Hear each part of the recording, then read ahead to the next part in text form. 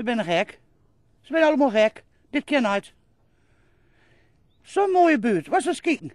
Nou, dit, dit is toen nooit weer. Zo denken de meeste bewoners van Ganzendijk over het plan voor totale sloop van hun dorp. Een rapport in opdracht van provincie, gemeente en woningcorporatie zou aan duidelijkheid niets te wensen overlaten. Leegstand en verpaupering dwingen de gemeente tot ingrijpen. Ganzendijk moet plat. Dat hebben de bewoners te horen gekregen tijdens een informatiebijeenkomst. Dat kan toch niet? Je kan maar zo een geheugd. Iedereen kan iedereen. We hebben straks activiteit. Nou, waarvoor dan nog? Dan is helemaal niks meer. We hebben straks weer een jaarmarkt. Nou, kan je alles wat schudden. Waar zijn ze dan in godsnaam mee bezig?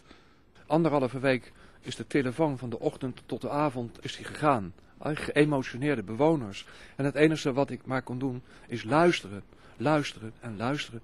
En ik heb geluisterd. Ik heb ook momenten gehad dat ik tegen het plafond aan zat. Ik heb ook momenten gehad dat ik me eenzaam voelde. Van, van, van wie krijg ik nu wat feedback? Wie, wie steunt mij vanuit de andere uh, partijen, uh, organisaties? De gemeente in ieder geval niet. Dat Gansendijk problemen heeft is duidelijk. Een tiende van de woningen staat leeg. Volgens het rapport komt dat ook niet meer goed, omdat Gansendijk te onaantrekkelijk is. Daarbij komt dat Oost-Groningen ontvolkt. Een harde conclusie, dat, dat beseffen we heel goed.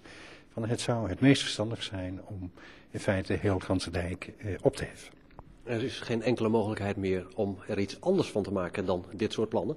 Nee, dat zou onverstandig zijn in, in het licht van wat ik net schetste. De ontwikkeling die dreigt voor, uh, voor heel Oost-Groningen, waarin we ook door een teruglopend bevolkingsaantal te veel aan woningen krijgen, zou het onverstandig zijn om, als je dan toch onaangename maatregelen moet nemen in Gansdijk, om dat niet ten volle te doen. De bewoners vinden dat de oorzaak van de problemen vooral ligt bij woningcorporatie Acantus. Die investeert niet meer in de woningen. Dat is Acantus zijn schuld. Ze hebben ze gewoon verwoorloosd. En de mensen die willen er niet meer in. Volgens het net opgerichte comité Gansendijk blijft, moet die negatieve spiraal worden doorbroken. Het comité bezint zich op een alternatief plan voor het dorp. De ruwe schets uh, omvat onder andere bijvoorbeeld, als we dus hier kijken naar wat ons achter staat, kijk, uh, je kan twee dingen doen. Je kan daar zeg maar 15.000 tot 20.000 euro per huisje in investeren en dan vervolgens weer te koop zetten. Zodat het dus uh, qua prijs-kwaliteit verhouding dus beter uitkomt. Of je kan beslissen van oké, gooi je tegen de vlakte, maak er een mooi parkje van bijvoorbeeld. Zo zijn er diverse opties denkbaar. Volgens de gemeente wordt er voorlopig nog niet gesloopt. Vooral omdat het sloopplan, inclusief de uitkoop van woningeigenaren en de herhuisvesting van huurders, zeker 4 miljoen euro kost.